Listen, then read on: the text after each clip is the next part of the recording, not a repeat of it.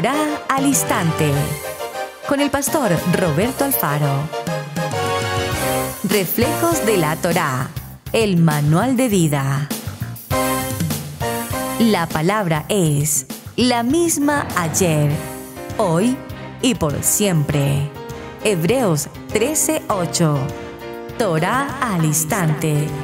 Es un espacio de reflexión y aprendizaje en familia escudriñando las escrituras de generación en generación. Acompáñanos todos los días, 7 y 30 de la mañana. Suscríbete a nuestro canal Radio Génesis 128 y activa la campanita. Torah al instante.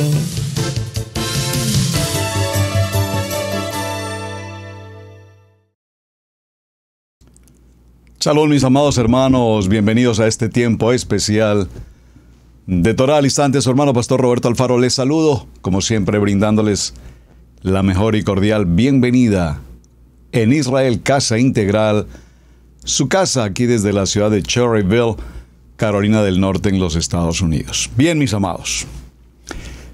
Ya entrando a una recta final en un tema apasionante. ¿Cuál es?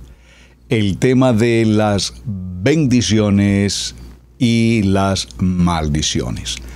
Básicamente podemos concluir que las bendiciones serán todas aquellas que podamos recibir, que nos alcancen, siempre y cuando el requerimiento es escuchar la voz de Adonai, cumplir con sus ordenanzas y hacer todo conforme a lo que está escrito aquí en nuestra Kadosh Torah.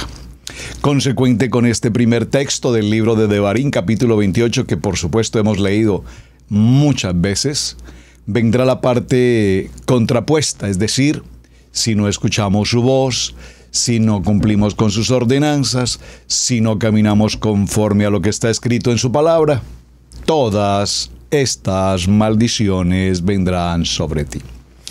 Esto nos lleva entonces, mis amados, a concluir que para obtener bendición, para caminar en obediencia, estamos viviendo una batalla, una lucha todos los días de la vida.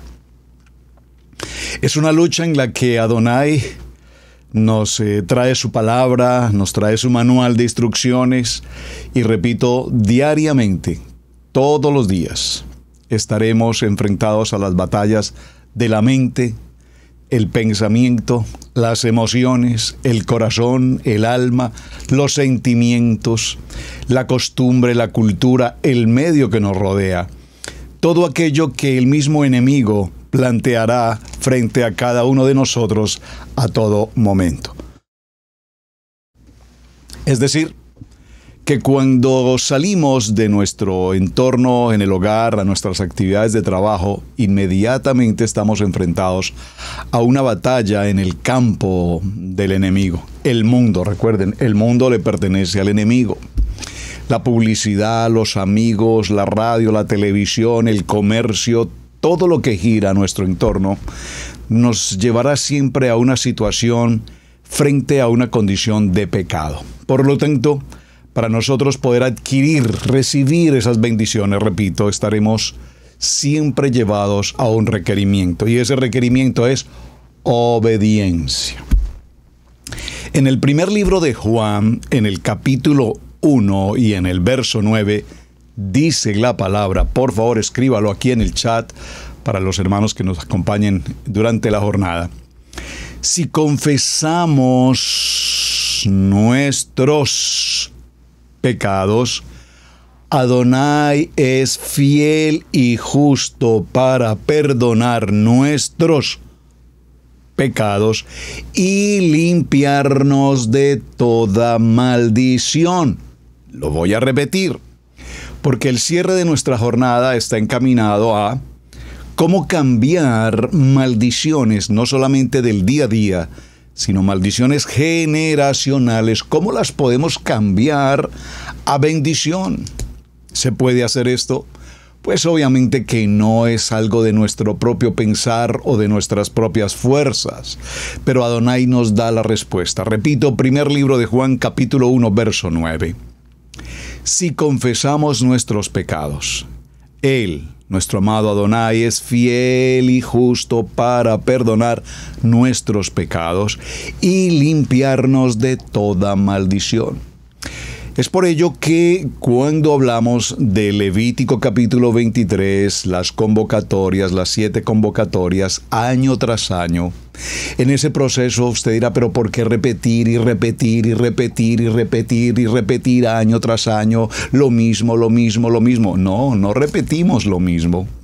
Las convocatorias están establecidas, pero en cada una de ellas cada año, en cada ciclo que hacemos anualmente, aprendemos, crecemos, maduramos un poco más con la obediencia en nuestro amado Hashem.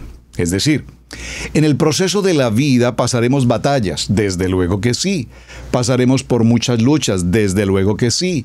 Pasaremos, por supuesto, por muchas pruebas, obviamente que sí. Y es necesario que pasemos por ellas porque en la medida que pasemos por ellas, evidentemente estaremos trabajando en nuestro carácter, estaremos trabajando en nuestra circunstancia muy personal y de esta manera, entonces, estaremos acercándonos a lo que veníamos tratando en el día de ayer en el libro de los Hebreos. Acompáñeme por favor al capítulo 11 y vamos a retomar haciendo una síntesis de lo que ya hemos considerado. Vimos en el capítulo 11 el libro de la fe. ¿Qué es la fe? y quedamos en marcar, subrayar y establecer. Fe es certeza, certeza de lo que se espera, la convicción de lo que no se ve la certeza de lo que se espera. Esta expresión, la certeza de lo que se espera, lleva una consideración lógica, razonal. Yo espero que terminada mi carrera profesional pueda ejercer mi profesión en la cual me he preparado. Es, tengo la certeza de que si estudié para ser un abogado pueda ejercer mi profesión como abogado. Esa es mi certeza.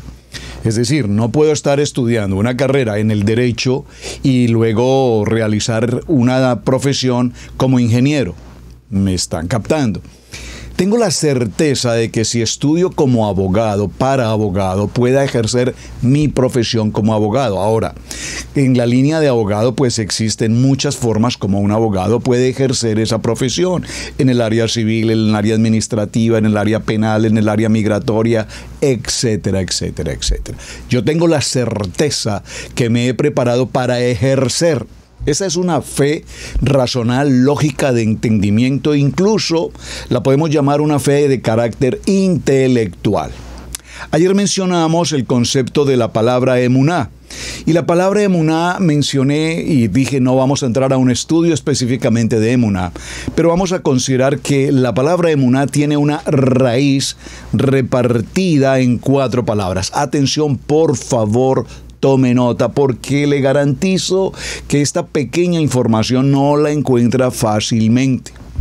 He tenido que indagar, buscar, leer para poder solo mencionar estas frases que voy a mencionar a continuación. Así es que le pido por favor papel y lápiz, tome nota, porque recuerden, quien no escribe, se le olvida. La primera palabra que nos lleva hacia el significado de emuná es la palabra amén. Y entendemos por amén así sea. Es lo que típicamente hemos establecido, aunque la palabra amén también tiene un significado más allá de así sea. Pero por ahora, dejémoslo allí. La segunda palabra es la palabra legitamén esa palabra legitamen significa entrenarse, prepararse, capacitarse, formarse, establecerse. La tercera palabra es la palabra omenet. Esta palabra omenet es eh, una palabra en femenino que lo que nos indica es cuando damos de nosotros mismos, pero también hay una palabra aquí en la misma omenet que es la palabra omen. Usted probablemente ha escuchado alguna vez que algunas personas a cambio de decir amén dicen omen y hay críticas al respecto, pero la palabra sí tiene un sentido en hebreo. Omen es un sentido masculino de lo que significa, repito, por mí mismo, cuando nosotros damos de nosotros mismos para obtener el beneficio.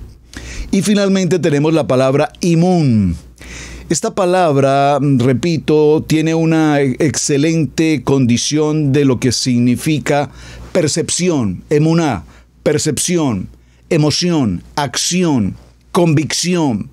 Y ayer mencionamos que la palabra emuná, si la fundamentamos en una sola palabra, es firmeza es decir, firmes. Mencionamos la palabra fe en la tabla periódica. Espero que usted haya hecho el ejercicio de ir a la tabla periódica. Aquí en Internet busque en su Internet tabla periódica de los elementos y encuentre la palabra fe que corresponde al símbolo químico de la palabra hierro.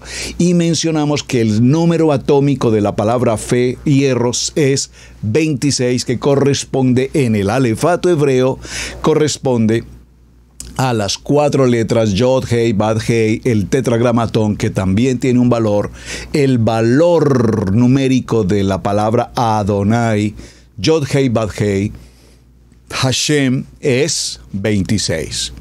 Y en la tabla de los elementos químicos 26 es fe, y fe significa hierro, y emuná significa dureza, firmeza. Bien, en ese orden práctico de ideas, llegamos entonces al concepto de lo que significa ahora la palabra bitajón. Bitajón, por favor, atentos, porque la palabra bitajón, que es como un nivel ya más alto de lo que hemos estado considerando en estos principios de Hebreos 11, tiene que ver con la palabra confianza. Confianza.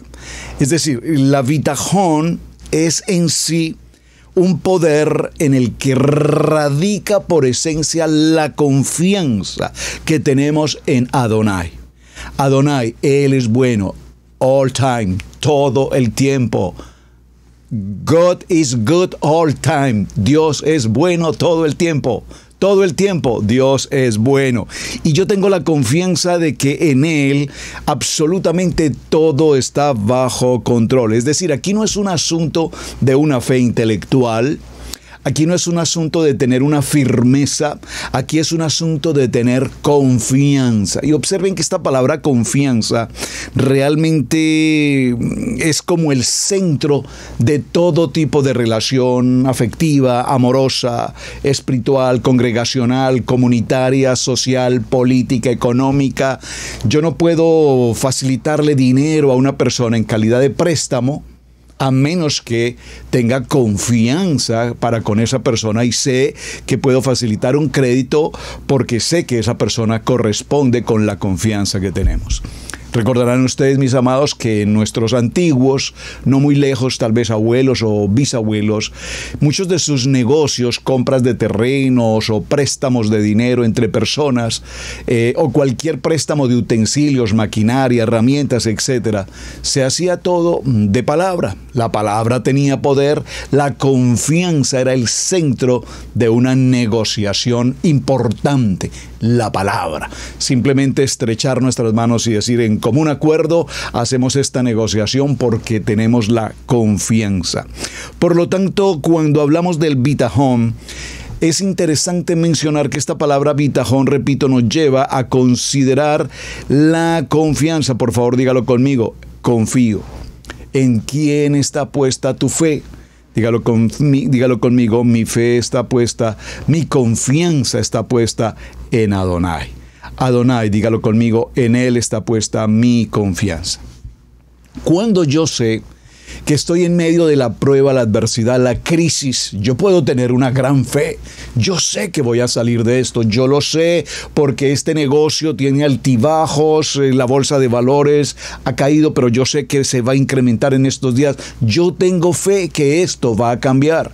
Es sí, es una fe entendible, es una muy buena fe razonable, es una muy buena fe práctica, es una muy buena fe intelectual. Yo tengo fe.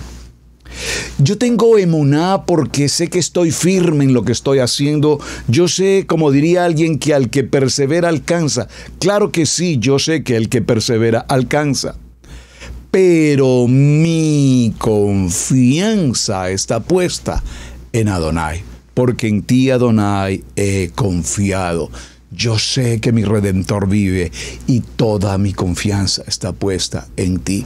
Yo sé Adonai, yo sé amado Hashem, que en ti he confiado y nunca nos dejarás abandonados, nunca nos dejarás avergonzados. Yo confío en ti. Hashem, recordemos en la historia, le habla a Moche a Moshe Raveno y lo coloca, la Biblia nos dice como un Elohim, y ahí la palabra Elohim, recuerden que la palabra Elohim se transfiere o se... Mm, o corresponde mejor a Elohim como un líder, un juez, una persona de autoridad. Y Moche fue establecido de parte de Adonai como un Elohim, no como un Dios, por favor, como un Elohim, como un líder, para que fuese el hombre llamado a tomar ese liderazgo, esa autoridad, y tomar a un pueblo que durante 210 años, después de 300 años que había sido hecha la promesa a Abraham, este pueblo pasaría a una tierra de promesa, a una tierra de bendición. Pero antes de entrar a ese tiempo de bendición, la promesa dice que evidentemente ese pueblo pasaría por una circunstancia de oprobio, de adversidad, voy a ponerlo entre comillas, de maldición. Y esa maldición la mencionamos ayer como una advertencia. Ay de ti, casa de Israel, que si no oyes mi voz y haces conforme yo te he prescrito en este libro, entonces estas maldiciones te alcanzarán. Y aquí vemos a un pueblo de Israel en desobediencia, aquí vemos a un pueblo de Israel en idolatría, aquí vemos a un pueblo de Israel asimilado, aquí vemos a un pueblo de re, a un pueblo de Israel apartado del propósito de Adonai. Ahora, sin embargo, como esa advertencia se va a convertir en una bendición, viene un proceso. Y el proceso da comienzo, repito, cuando Adonai toma, llama específicamente a Moshe y aún con todas las circunstancias, le ordena que sea él que quien tome la autoridad y Moshe debe dirigir al pueblo de Israel en su salida, en ese éxodo, en esa salida de Egipto y llevarlo a una tierra de promesa. Pero lo interesante aquí es que la salida de Egipto correspondería a ir a una promesa de bendición y sin embargo para alcanzar la bendición el pueblo pasó primero por un desierto. Un desierto que dicen los eh, hombres encargados de las cartografías y los recorridos y los eh, eh, estudios de arqueología y demás, que ese recorrido hubiese tardado aproximadamente de 15 a 18 días entre Egipto y la tierra prometida. Sin embargo, todos conocemos que ese recorrido dio giros y giros, casi que girando en círculos durante 40 estaciones, 42 estaciones hasta llegar, repito, a que se cumpliera la promesa. Y ese eh, proceso por el cual el pueblo de Israel tuvo que pasar fue parte del propósito de Adonai, estableciendo en su pueblo madurez, carácter, tikkun, techuvá, arrepentimiento, cambio de actitud. Cambio de pensamiento, cambia tu manera de pensar para que cambie tu manera de vivir. Mientras sigamos viviendo en nuestro propio pensamiento, mientras sigamos manejando nuestra vida a nuestra manera, según mi fe intelectual, racional, lógica, mis amados, las cosas no, no marcharán muy bien.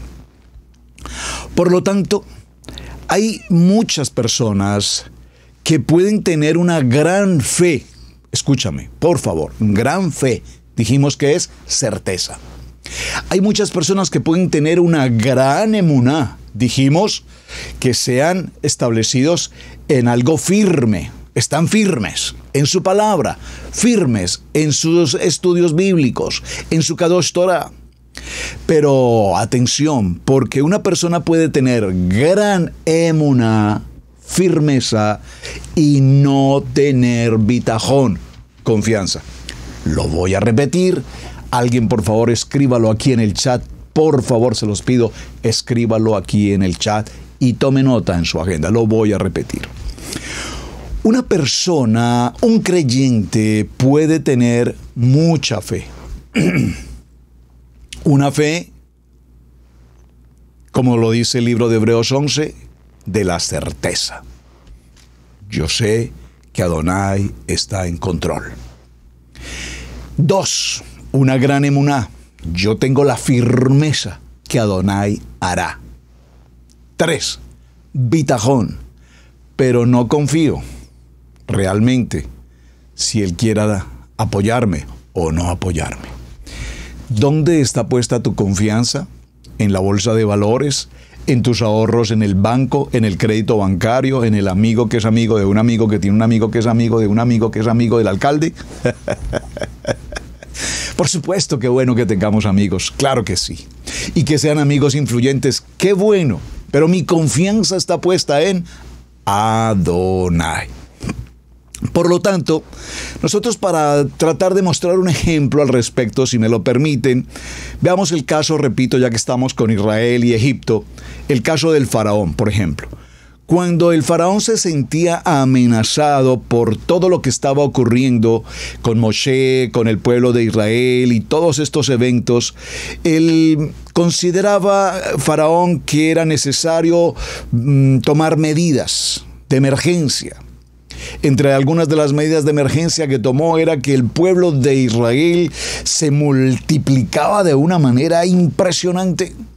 En un parto las mujeres podían tener eh, seis niños, seis, como se dice, por favor ayúdeme aquí en el chat, seis, seis niños, cinco niños, cuatro niños, en un solo parto y crecían, la, la población crecía y se aumentaba de una manera impresionante. Por lo tanto, Faraón consideró que era necesario tomar una medida apresurada. ¿Y cuál fue la medida que él tomó? Todos recordamos, lanzar a todo niño varón al río Nilo. Ustedes recuerdan esa historia. Esta situación fue una medida que se tomó de momento pero sin embargo todos sabemos que aún las parteras, dicen ellas que cuando llegaban a los partos ya las mujeres habían dado a luz los niños y ya habían sido llevados hacia otros lugares. Claramente, claramente las acciones que vemos de Moche al presentarle a el faraón la voz de Adonai, las determinaciones de Adonai, todos sabemos que entre más se acercaba Moche a faraón, el corazón de faraón se endurecía, pero no nos cabe la menor duda que faraón sabía ya ya el poder de Adonai, el poder de Hashem sobre toda la creación. Sin embargo, aún creyendo de que había un poder más que el poder del ídolo del río Nilo, pues definitivamente él no tenía otra determinación más que hacerse superior por encima del poder de una palabra. Es decir, que no tenían la confianza suficiente para dejar de lado su autoridad y reconocer que Adonai es absolutamente el eterno. De alguna manera podríamos decir, Faraón podía tener emuná, firmeza en lo que hacía, pero no tenía confianza en lo que él veía. Por lo tanto, mis amados, se hace necesario que así como crecemos en nuestra fe, así como crecemos en nuestra emuná, se hace indispensable, mis amados, se requiere urgentemente, aviso SOS, se requiere urgentemente que caminemos en bitajón, en bitajón, por favor. Algunos se podrán preguntar entonces qué es más importante, la fe, la emuná, el bitajón evidentemente cada uno de ellos cumple una labor y yo eh, lo he tomado a muy título en el estudio eh, pedagógico de Israel Casa Integral como un nivel de fe. La fe racional, la fe lógica, la fe del entendimiento que a diario tenemos, sí, la fe logramos subir a un poco más, a estar más firmes en cuanto a lo que la palabra dice, a creer en el poder de una palabra. Pero luego llegamos definitivamente a un lugar que es la confianza absoluta. Dígalo conmigo, la confianza absoluta de saber en qué lugar estamos y para dónde vamos. Como estamos en una recta ya final y concluyendo el programa de semana, entonces podemos entender que las maldiciones generacionales, las maldiciones que hemos traído, hemos arrastrado, que cargamos en nuestra espalda a lo largo de los años, bisabuelos, tatarabuelos, hasta donde podamos conocer nuestra genealogía. Quiero preguntarles a propósito de genealogía, quiero preguntarles, amados hermanos, escucho con frecuencia decir, bueno, yo nunca, el caso personal, no tengo realmente, no tengo rastro, no tengo huella, no tengo información de mis bisabuelos o de mis tatarabuelos, no tengo alcance a esa información. He procurado indagar un poco con mis padres y realmente ellos no me daban, en su tiempo no me dieron mayor información y con las familias cercanas no logré mayor información de ellos. Básicamente conocí de mis padres, por supuesto, y de mis abuelos, ligeramente incluso porque aunque les conocí, bueno, a mi abuelo paterno no tuve la oportunidad de conocerle personalmente, pero con mi abuela materna, de hecho, compartí buena parte de mi infancia. Y recuerdo de ellos eh, su bonanza, como siempre lo hemos mencionado, nuestros abuelos, muy seguramente es el caso de muchos de ustedes, ellos nos narran las historias de sus propiedades, las fincas. Yo recuerdo a la abuela diciéndome, esta finca va por toda la línea de esa montaña, allá hasta donde se ve ese bosque, de ese bosque baja hasta la última esquina donde está el río, del río baja hasta no sé dónde, a la curva, allá a la otra montaña. Qué lindo, ¿verdad? Y de pronto pasan los años y nos damos cuenta que todas esas propiedades o riquezas de los abuelos, no sabemos, desaparecieron, se evaporaron y los que quedaron probablemente quedaron con las manos vacías, malas negociaciones, malas inversiones, conflictos entre familias, entre hermanos, unos se quedaron, otros no se quedaron, etcétera, etcétera, etcétera. Esos principios de familias generacionalmente vienen con nosotros. Y seguramente usted ha escuchado entre familias, no, no, no, eh, nosotros, eh, eh, nosotros no tenemos ese problema, cuando nuestros padres partan a su presencia entre nosotros no habrá ningún problema, esperemos que eso pase. Y cuando eso ocurre empieza entonces la riña entre los herederos, que esto es mío, no que esto es mío, no que esto para mí, que yo estoy de acuerdo, que no, que yo no estoy de acuerdo, que yo no quiero que se venda, que yo sí quiero que se venda, que esto me pertenece. Y empiezan los mismos conflictos de toda la historia generacional de la familia. ¿Qué viene con eso? Viene maldición. Viene celo, viene envidia, viene contienda hermano con hermano, hermanos que pueden pasar 30, 40, 50 años de sus vidas y nunca entre hermanos se cruzan una palabra por una porción de tierra o por una herencia mal correspondida. Toda esta historia la menciono porque todo esto tiene un origen que evidentemente todos conocemos. Cuando el hombre formado por Adonai cayó, Adonai tuvo que pronunciar una maldición que sería un freno para la naturaleza caída. Esto es Brechit capítulo 3 verso 16.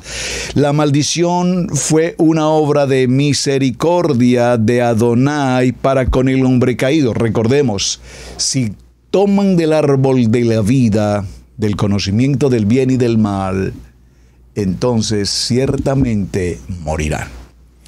Pero hubo una misericordia y fue el darles la vida, pero esa vida a partir de hoy tendrá un cambio. El hombre trabajará, se esforzará, con el sudor de su frente recibirá su provisión la mujer tendrá los dolores de parto y usted conoce toda esta historia. Esta circunstancia entonces implica, repito, trabajo arduo, dolor, labor, gran adversidad. Y Adonai sabe que el hombre, que el hombre perverso es capaz de hacer, si no se le controla, es capaz de hacer cualquier cosa adversa absolutamente. Una vez que esta palabra se pronuncia hacia la creación, Adonai lo que hace a su vez es quitarla y a veces Adonai permite que nuestra vida permanentemente tenga aguijón. ¿Alguna vez usted ha sabido o ha experimentado qué es tener un aguijón o una circunstancia o un problema recurrente que se realiza día tras día, momento tras momento en su vida? ¿Cuántos hemos luchado, batallado, esforzado por superarnos, por crecer en la estabilidad económica, en la familia y todas las cosas van bien y de repente todo viene de regreso, se acaba, cae, se desploma todo y probablemente lo has intentado dos o tres veces y la circunstancia se sigue repitiendo? Bueno, esto es evidente porque recordemos que es el caso que todos conocemos en la vida de Job. Job y sobre ese tema creo que trabajaremos en una siguiente semana. Recordemos que el apóstol Pablo también necesitaba un aguijón que lo mantuviera en la dirección, en el camino, en la carrera para cual él había sido llamado. Al igual que una perla se forma por irritación, Adonai prolonga muchas veces una circunstancia agravante con el fin de desarrollar algo hermoso en nuestra vida. Y vaya que lo puedo decir, repito, por testimonio. Cuando venía de una condición humilde, un padre maravilloso, una mami maravillosa, una familia hermosa, pero sin embargo teníamos ciertas dificultades en el aspecto económico, tal vez no podíamos en aquel tiempo pensar o, por lo menos aspirar a, a una universidad, los costos de una universidad extremadamente altos, etcétera. Pero sin embargo, en medio de las circunstancias, Adonai nos bendijo, o por lo menos me dio su privilegio, su bendición, y me permitió ubicarme desde muy joven en una posición laboral, adquirir una economía, cierta estabilidad, incluso beca universitaria, etcétera, poder ingresar a la universidad, poder crecer laboralmente, profesionalmente. Adonai empieza a aparejar y abrir el camino de muchas maneras. Pero sin embargo, cuando todo ese proceso se da y empezamos a crecer y a crecer, a crecer, y recuerden, apartados de Adonai, nada podemos hacer. Y vaya que lo puedo decir, repito, por testimonio. Para aquellos entonces no conocía de la palabra, no tenía el temor de Adonai, era parte normal del mundo pecaminoso, de la vida, del gozo del mundo, el mundo en todo su sentido. Economía, solvencia, anhelo, riqueza, eh, vanidad de vanidades, todo es vanidad.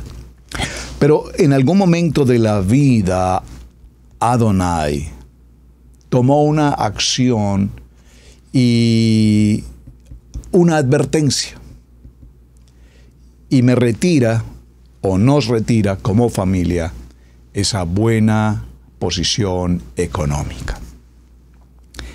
Qué dolor, qué dificultad, qué adversidad, qué contrariedad, qué momento tan difícil que la verdad espero que todos alguna vez lo pasen. ¿Qué está diciendo pastor? ¿Por qué, hermanos? Porque aunque fue el momento más difícil de nuestra vida como pareja, como matrimonio, relativamente eh, pocos años de matrimonio, viviendo esa buena estabilidad, cuando esta prueba se presenta, Adonai la permitió porque estaba tratando con nuestros corazones, estaba tratando con mi ego, con mi carácter, con mis vanidades, con mis presunciones en muchas áreas de la vida. Y es así entonces, mis amados, cuando empieza un nuevo proceso, un cheminí. Ese momento es absolutamente definitivo en nuestra vida. Recuerden que estamos en un punto que es de la maldición pasar a la bendición. Y la única manera como lo puedo expresar es por un testimonio personal de esa maldición, de perderlo todo, de caer de la alegría, de la opulencia, de ciertas comodidades y demás. Orgullo, vanidad, cuando eso desaparece en un abrir y cerrar de ojos, es cuando por primera vez verdaderamente levanto mis manos y le digo, Padre, por favor, escucha mi clamor.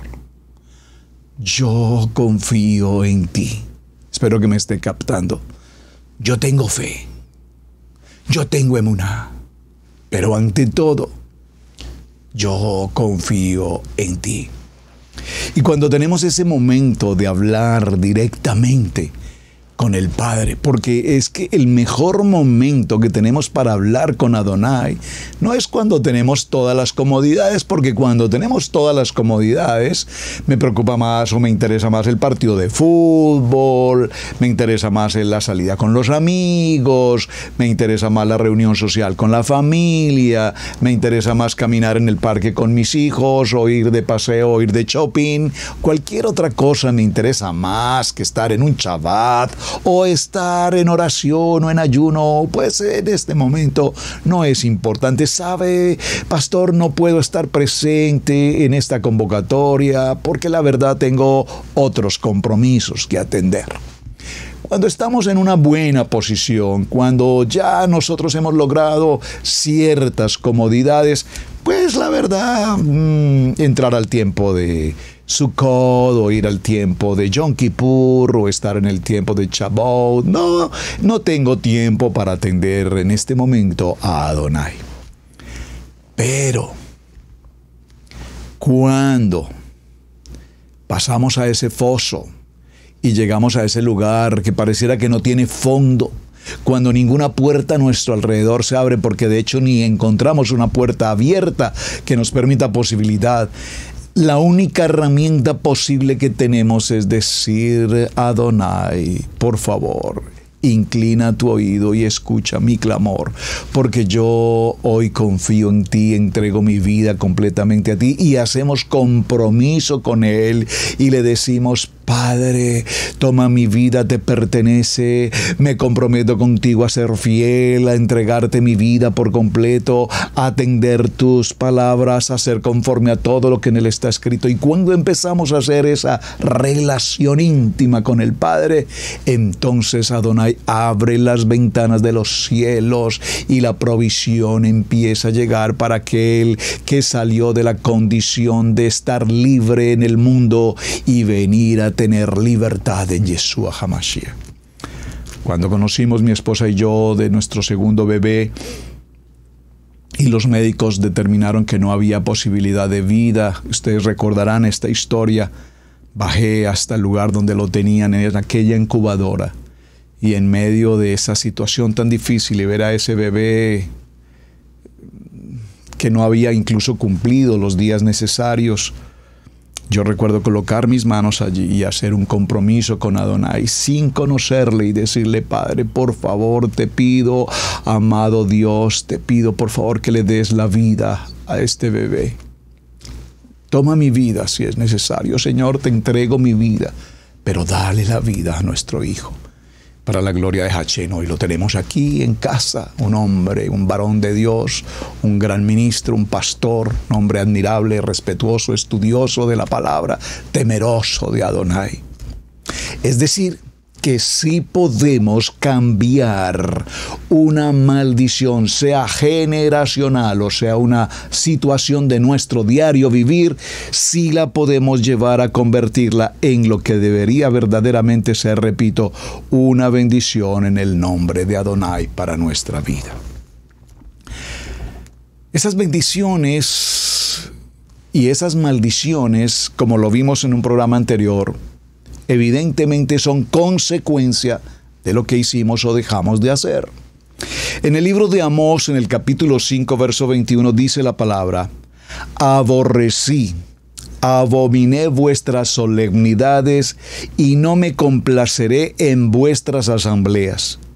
Y si me ofrecieres vuestros holocaustos y vuestras ofrendas, no los recibiré, ni miraré a las ofrendas de paz de vuestros animales engordados Quita de mí la multitud de tus cantares, pues no escucharé las salmodías de tus instrumentos. Pero corra el juicio como las aguas y la justicia como impetuoso arroyo. Me ofrecisteis sacrificios y ofrendas en cuarentena, oh casa de Israel. Antes bien llevabais el tabernáculo de vuestro Moloch y Kiun, ídolos vuestros la estrella de vuestros ídolos que os hiciste. Así también las medicinas y los hospitales son grandes bendiciones. Ahora mismo, ¿cuántos de nosotros no estaríamos aquí si no fuera por una medicina, por un tratamiento médico, por una circunstancia terapéutica en la que hayamos sido tratados? Es decir, que sí podemos convertir una maldición verdaderamente en una bendición. En el libro de Berechid, en el capítulo 12, versos 1 y 2, dice la palabra, pero Adonai había dicho a Abraham, vete de tu tierra y de tu parentela y de la casa de tu padre a la tierra que te mostraré. Y haré de ti una gran nación. Te bendeciré y engrandeceré tu pueblo. Y nosotros somos ese pueblo de Adonai. A través de toda la historia, Adonai ha hecho como lo sabemos perfectamente, cosas grandes, maravillosas, porque Él nos ama. Por favor, dígalo conmigo, Adonai me ama. Y como lo vimos, Adonai nos ama y porque nos ama, ha retirado esa maldición y nos trae a vivir en una bendición. En el libro de Devarín, en el capítulo 11, versos 26 y 28, dice, He aquí yo pongo delante de vosotros la bendición y la maldición. La bendición si oyes los mandamientos de Adonai vuestro Elohim, que yo te prescribo hoy y la maldición si no oyereis los mandamientos de Adonai vuestro Elohim y os apartáis por el camino que yo os ordeno hoy para ir en pos de ídolos ajenos que no habéis conocido. Es decir, que todo dependerá de la obediencia que nosotros tenemos en este manual de instrucciones. Cada actividad en la vida, todo cuanto gira a nuestro alrededor está establecido en un orden. Hay, dice Eclesiastés, tiempo de nacer, tiempo de morir, tiempo de reír, tiempo de llorar. Todo tiene su tiempo bajo el sol.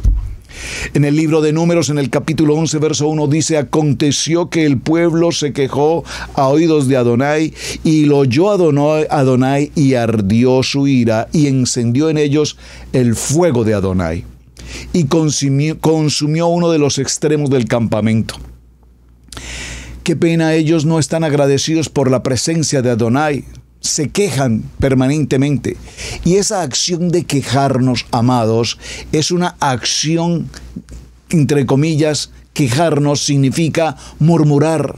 Quejarnos significa eh, desagradecer, quejarnos significa estar en contra de, Quejarnos significa no estar atentos a la bendición.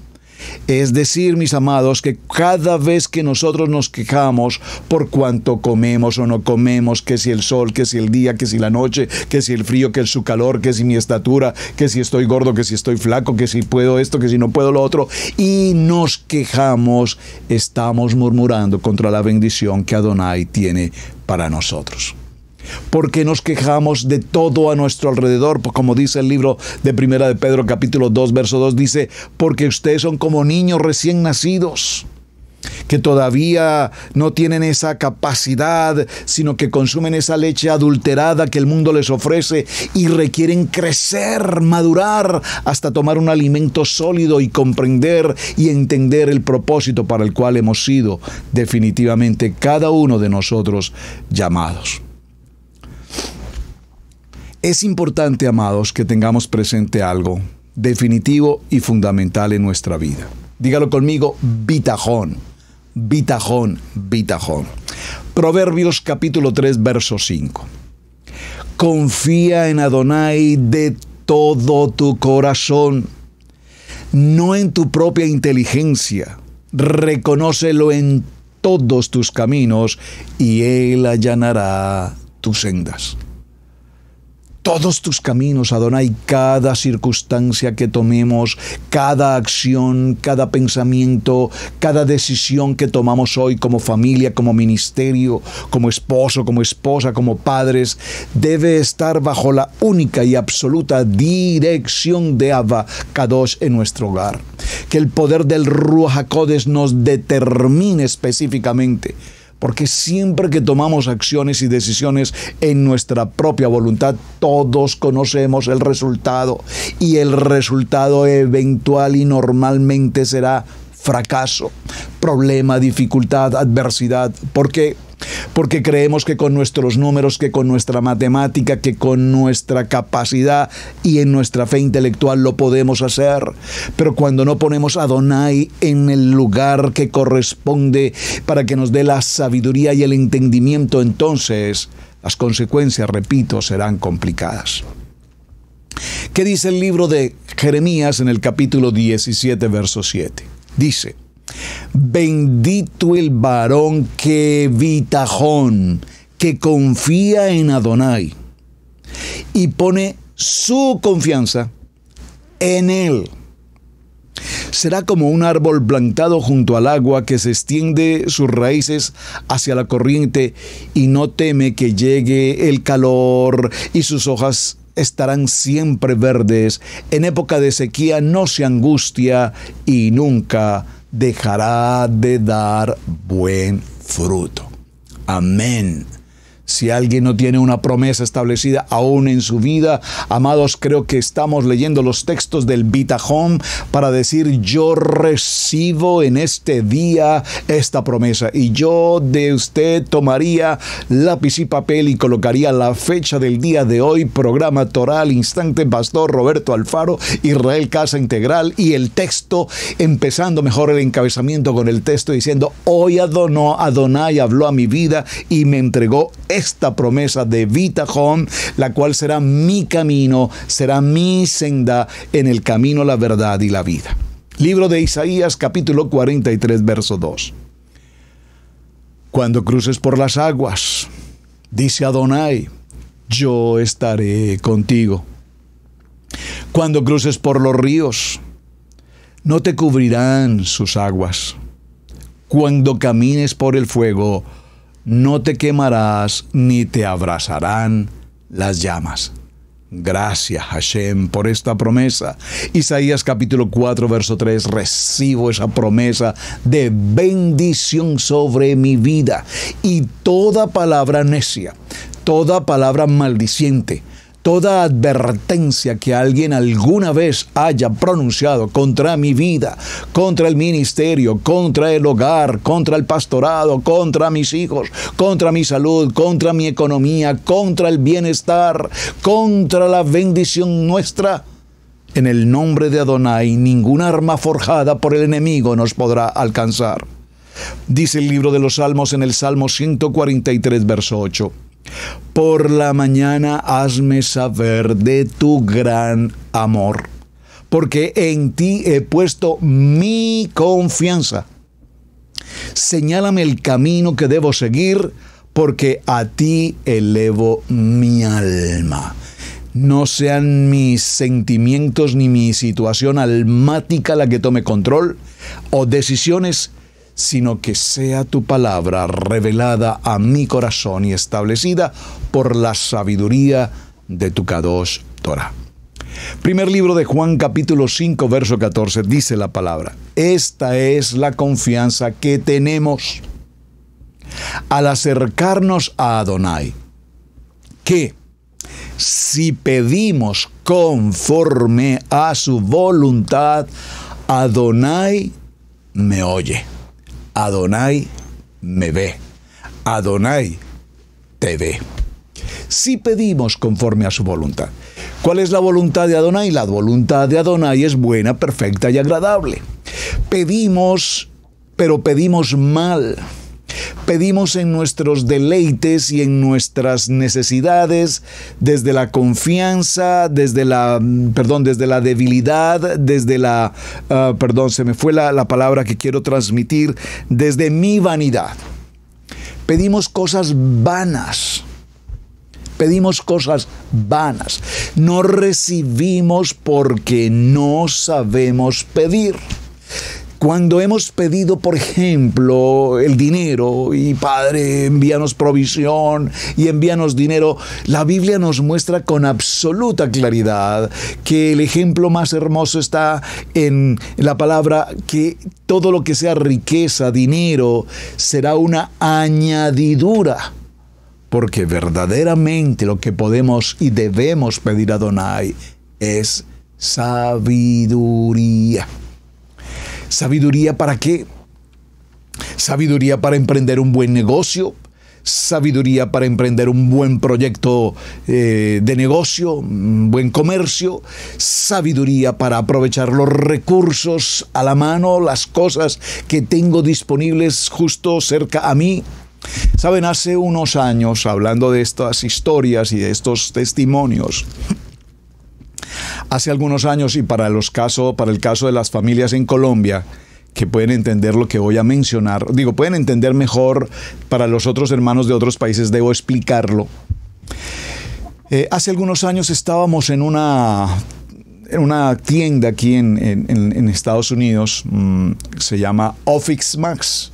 Es un lugar de fotocopias, libros, papelería, etcétera, algo así como una papelería en muchos países. Una tienda, por supuesto, muy grande. Estando en aquel lugar haciendo un trabajo de fotocopiado de unos libros de la congregación, en la, alguna de las fotocopiadoras, son muchas fotocopiadoras y allí tú las manejas directamente, cada quien hace su propio trabajo. Este, de pronto escuché a una persona hablando en español Obviamente cuando estamos en un mundo de americanos y escuchamos a alguien en español, pues obviamente nos llama la atención saber que hay una persona hispana y eventualmente pues procuramos acercarnos, saludarnos, dialogar, saber quién es, de qué país es, etc. Pero en este caso en particular fue muy interesante para el caso mío como colombiano porque cuando escuché el español y cuando escuché el acento de esa persona, primero concluí que era un colombiano y además concluí que era un colombiano oriundo de Pasto, en Colombia, un pastuso. ¿Y cómo supo usted que era un pastuso? Pues porque le escuché un acento bastante pastuso. el que entendió, entendió. Así es que me acerqué a la persona y le saludé. Mucho gusto, ¿cómo está? Qué gusto saludarle. Eh, es usted colombiano, ¿verdad? Sí, sí, ¿cómo sabe que soy de Colombia? Bueno, pues porque le escuché su acento y me di cuenta que usted es de Colombia. Me dice, estoy recién llegado aquí a la ciudad, hace apenas 15 días que vivo en esta ciudad y, estoy haciendo un proyecto que traigo desde New Jersey. Yo viví más de 25 años en New Jersey, fui un empresario en New Jersey y me dediqué al negocio de los taxis y me he dado cuenta que en esta ciudad no hay taxis, por lo tanto estoy haciendo todos los trámites legales para tener una empresa de taxis aquí en esta ciudad. Si quieres trabajar conmigo te voy a decir cómo lo haces, solo tienes que traer un vehículo que tenga estas características y este color y yo te voy a inscribir y te doy un número de asignación y podrás trabajar conmigo. Bueno, ya hicimos la palabra. En ese momento vino a mi corazón cómo es que nosotros llevamos varios años viviendo en esta ciudad. Sabemos que no había transporte de taxi o Uber como funciona hoy. Y de pronto una persona viene desde otro estado se da cuenta que en esta ciudad no hay servicio de taxis e inmediatamente hace los trámites necesarios para formalizar una empresa de servicio público, que de hecho les estoy hablando, esto ocurrió hace más de 10 años y esa empresa hoy ya tiene más de 10 años funcionando. Y es interesante, de hecho, cuando voy a esa ciudad, veo los taxis de color azul de esa empresa y nunca jamás Volví a ver al dueño de la compañía, al señor colombiano de Pasto. Nunca lo volví a ver. No sé si será el mismo dueño hoy o ya vendió su empresa. lo que quiero significar, amados hermanos, cuando nosotros pedimos a Donai dinero, ¿Por qué no le pedimos a Donai sabiduría para entender un proyecto? Padre, en esta ciudad, ¿qué requiere esta ciudad? Requiere, como el ejemplo que he puesto, no había transporte de taxi, creó una empresa de taxis. Hoy no solamente hay una empresa de taxis, probablemente hoy hay cuatro o cinco empresas de servicio público de transporte, no solamente de taxis, etcétera, de transportes en muchos sentidos. Hermanos, el dinero está, la economía está. Lo que tenemos es el requerimiento de decirle a Abacadosh, dame la sabiduría y el entendimiento de proyectar algo que yo sé que las gentes van a necesitar y que yo sé que a través de ese proyecto que beneficiará a mucha gente, obtendré la bendición económica. Por favor, hermanos. La gente dice, bueno, es que yo estoy pensando poner un restaurante, pero resulta que tiene 50 restaurantes a la par. Entonces tu restaurante tendrá que ser la diferencia. A mi alrededor hay 50 restaurantes en los que todos los tipos de comidas son comidas del mundo el cerdo, los camarones, los mariscos, etc. Oh, estoy pensando en colocar un buen restaurante de comida kasher, de comida kosher. Oh, pero es que la gente que come comida kosher pues es poquita. Eso es lo que usted cree, mi amado hermano. Porque hoy hay muchos productos. Yo voy a la tienda, yo hago mercado en las tiendas. Yo soy la persona que hace las compras de la casa cuando mi esposa me dice que hay que hacerlo. Y voy a la tienda, yo compro productos y cuando vamos juntos revisamos etiquetas, revisamos productos y encontramos que muchos de esos productos dicen producto kosher, producto kosher. Y veo como muchas gentes compran productos kosher. Significa que no necesariamente conocen de Torah, probablemente, pero ya conocen que un producto kosher es un producto especial, llámese leche, llámese frutas, llámese eh, yogur, llámese queso, llámese carnes, etcétera, etcétera. Es decir, si yo soy un observador de mi alrededor, de mi entorno, yo no puedo estar de brazos cruzados esperando que venga la bendición. Adonai, es que estoy en una maldición, estoy en una racha, no puedo empezar nada, me sale bien, por ninguna parte avanzo porque no tenemos la sabiduría para romper con esa racha, para romper con esa mala circunstancia, debemos trabajar arduamente en algo que el mundo necesita. Cuando nosotros miramos hombres como el señor Elon, el dueño de las compañías multimillonarias del mundo, como Tesla, por ejemplo, pues a él se le ocurrió hacer los carros eléctricos y se ha hablado mucho de ellos, pero los carros eléctricos hoy se venden en todas partes del mundo y muchas de las grandes compañías del mundo han procurado copiar el modelo de este sistema Tesla de este hombre porque se dieron cuenta que era una muy buena inversión, una manera, un buen recurso para eh, evitar los gases, eh, la contaminación, etc. A alguien se le tiene que ocurrir algo. A este mismo hombre se le ocurrió ese sueño, esa, esa proyección tanto absolutamente anormal como pensar en tener eh, cohetes y hacer mañana los viajes interplanetarios, ir de turismo a Marte o a la Luna, no sé. Pero necesitamos pensar en grande porque desde nuestros abuelos, bisabuelos o tatarabuelos, probablemente ellos nunca pensaron más allá de lo que podían ver con sus ojos. Pero hoy nosotros podemos ver mucho más allá. Hoy podemos avanzar en crecimiento empresarial, en negocios, en oportunidades, en inversiones, en proyectos, en finanzas, en salud, en economía, en familia, en todos los aspectos. ¿Saben, amados hermanos? Yo le doy gracias a mi amado Hachén por Israel Casa Integral. Dos minutos para cerrar esta historia.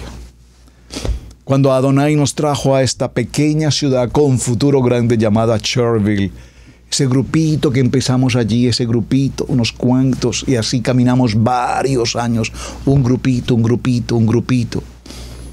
Pero gracias a estas eh, posibilidades en Internet, a través de la red de Internet, YouTube, Zoom, Instagram, todas estas oportunidades, el Ministerio de Israel Casa Integral se ha extendido. Gloria al Eterno por cada ministerio en Ecuador, en Venezuela, en Perú, en Chile, en Argentina, en Colombia, en Panamá, en Costa Rica, en España, en Holanda, en Inglaterra. Por favor, por cada lugar de la tierra aquí en los Estados Unidos, en tantos lugares, por todos ustedes, amados hermanos que conectan permanentemente aquí en Toral Instante, en Mujeres con Simiente de Unción, en Cápsulas de Vida con Camilo Alfaro, en todos los tiempos de Chafat, de Israel Casa Integral, todo lo que hacemos en conexión, por cada persona que conecta con esta programación de Israel Casa Integral. Gracias Hashem porque tú nos habías prometido que iríamos a las naciones y que de muchas naciones vendrían a esta casa de Israel, casa integral en Cherryville, a beber de la palabra. Pues bueno, textualmente, literalmente, hoy esa promesa se ha cumplido. Gracias, Hashem. Gracias Hashem porque tú eres nuestra salvación. Adonai es mi salvación y mi gloria, es la roca que me fortalece. Mi refugio está en Adonai. Bueno, mis amados, hemos concluido esta jornada, un tiempo apasionante. Gracias por sus comentarios, gracias por compartir la enseñanza, gracias por acompañarnos aquí en Toral Instante. Gracias de verdad, amados hermanos, por suscribirse a nuestro canal de Israel Casa Integral y a nuestro canal de Radio Génesis 128. Inscríbase a los dos, por favor. Inscríbase a los dos canales. 24 horas de radio. Radio Génesis está 24 horas allí disponible. Si quieres conectar con nosotros, escríbanos por favor a través del chat, escríbanos a través de WhatsApp, escríbanos a través del Messenger, escríbanos a través de Instagram. Conéctese con Israel Casa Integral, que con el mayor gusto estamos para atenderles. Mis amados, muy buen fin de semana para todos. Shabbat Shalom. Gracias. Un hermano Pastor Roberto Alfaro. Me despido. Hasta una nueva jornada. Aquí en Torah al instante. Hemos presentado Torah al instante con el pastor Roberto Alfaro. Para nosotros es un placer poder servirle. Contáctanos a nuestro correo radiogénesis 128 arroba gmail.com. Torah al instante.